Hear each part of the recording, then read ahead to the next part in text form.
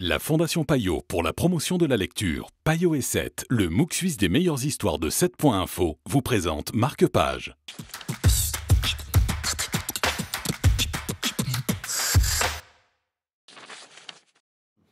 Bonjour et bienvenue dans Marque Page, une bande dessinée aujourd'hui pour en parler avec nous Guillaume, le roi des BD. Bonjour. Bonjour.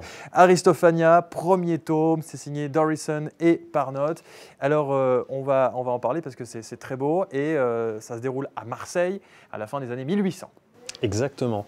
Donc c'est un récit euh, qui relève de la, on va dire, de la, de la fantaisie ou de la science-fiction. C'est assez curieux parce qu'il y a un côté, on sent qu'ils ont voulu jouer au petit clin d'œil avec la culture marseillaise, ça parle de, de bouillabaisse, de rascasse et compagnie. Mais à côté de ça, ça reprend vraiment les codes de la fantaisie et même de, quasiment du steampunk, hein, parce qu'il y a une, esthétique qui est assez forte dans cet esprit-là.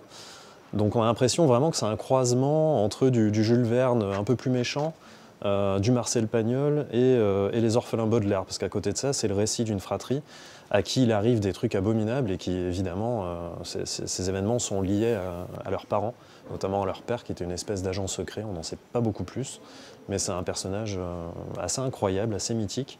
Et, et finalement, bah, l'héroïne du récit, outre les enfants, c'est Aristophania, qui est une noble avec une prestance incroyable. Qui a des pouvoirs Qui a des pouvoirs de fou.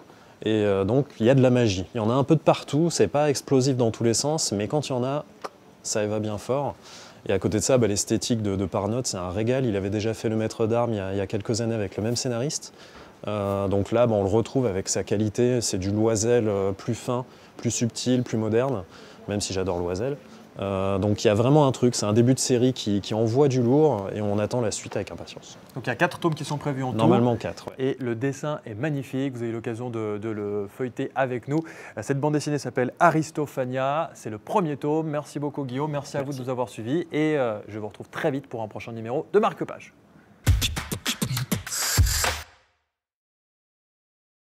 La Fondation Payot pour la promotion de la lecture, Payot et 7, le MOOC suisse des meilleures histoires de 7.info, vous ont présenté Marque Page.